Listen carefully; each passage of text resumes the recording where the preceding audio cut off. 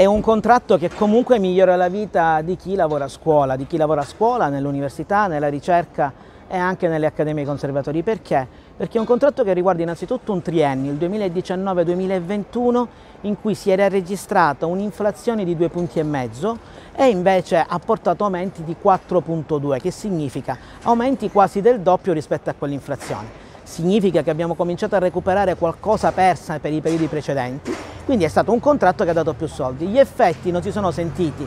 Questi soldi e quanto aumentano? 124 euro per i docenti, 85 euro per il personale ATA però il problema è che non si sono sentiti nelle buste paga dei lavoratori perché l'inflazione poi è schizzata nel 2022 per colpa della guerra in Ucraina, nel 2023 è continuata a crescere e ancora oggi ahimè per il 2024 è stimata in crescita.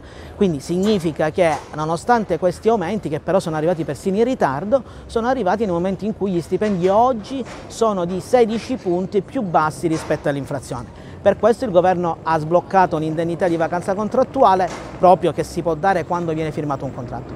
Ma tra i punti veramente fondamentali di questo contratto io voglio sottolineare innanzitutto un'attenzione per il mondo ATA, un'attenzione per il mondo ATA e per il lavoro dei DSGA che addirittura era sottostimato rispetto al passaggio storico della figura da segretaria di SGA, ma anche in generale tutto il mondo ATA che soffre di più perché ha stipendi ancora più bassi dei docenti. Quelli dei docenti sono più bassi rispetto all'Europa, ma quelli ATA sono veramente bassissimi. Quindi questa attenzione è stata data, sono data un'attenzione ai precari col pagamento anche finalmente dei tre giorni di permesso che fino a ieri erano retribuiti, una maggiore attenzione agli episodi di violenza contro le donne con un aumento dei giorni di congedo e, e ancora delle misure che poi vanno a impattare sulla vita di ogni giorno. Per esempio dico una su questa è la formazione. La formazione dovrà essere retribuita, in contrattazione si dovranno stabilire i criteri di questa uh, retribuzione. È un principio che ANIF portava avanti da anni in base a un diritto europeo. Un diritto europeo che noi cercheremo, se il governo finalmente